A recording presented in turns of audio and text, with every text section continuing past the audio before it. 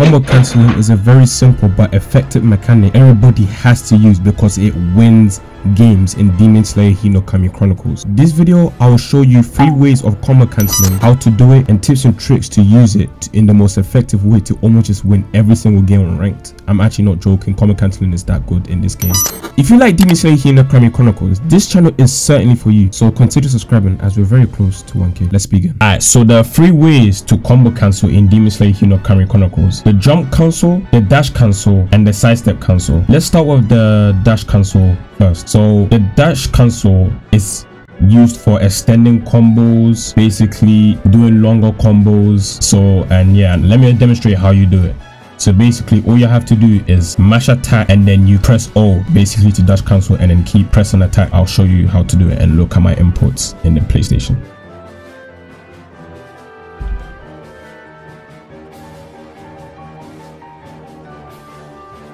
So that's how you do a dash cancel. However, if you want to go more advanced, you can do dash cancel resets. Dash cancel resets is basically this. You're attacking, but as soon as you dash, you block. Like, you know what I'm saying? That's a dash cancel reset. There's so many opportunities in doing dash cancel resets. For example, you can do a dash cancel reset to a, to a grab, like you can do that to a grab. You can do it to a whole um, tilt.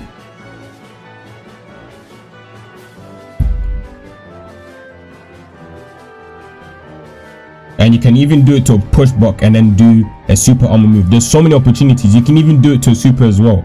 So use the dash cancel reset if you want to be more advanced. It's a very very good mechanic but it still depletes your meter. So just keep that in mind. Now for the jump cancel is basically you're you're basically doing your neutral combo. However you stop midway and then you jump and then you keep attacking. I'll demonstrate it right now.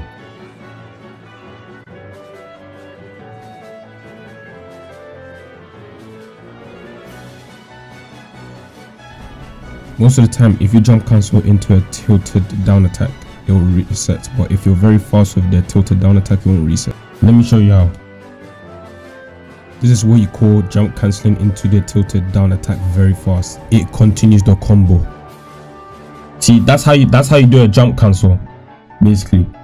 It does reset some um and if you're very quick with the with the jump, if you if you're very quick with the jump the jump cancel, you can still continue the combo.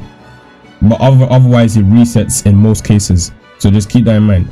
This is used for you know I'm saying baiting your opponents for resets if they're mashing for example if they're if they're getting guard pressured for example let me get my opponent to block. So for example if you're applying pressure to your opponent and then and then you you jump then your opponent might start mashing and or doing a super and then you can punish their mashing by doing jump cancel into down tilt.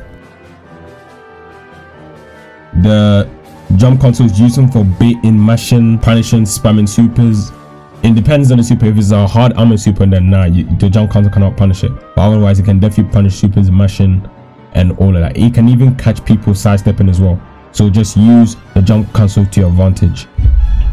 Now, the last way to combo cancel is a sidestep cancel or full step, back step cancel, whatever you want to call it. So in order to do a sidestep cancel, all you have to do is do this.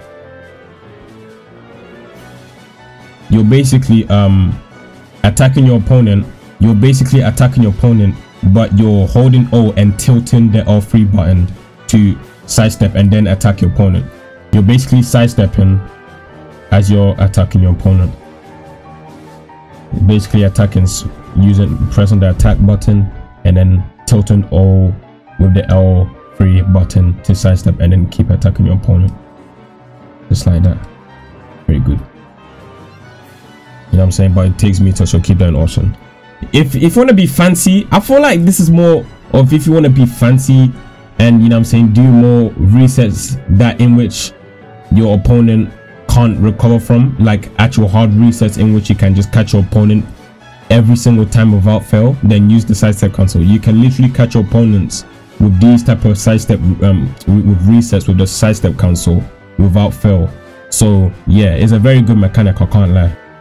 Oh, and I forgot to and add one thing. You can also technique cancel as well. So this is how you this this is how you technique cancel.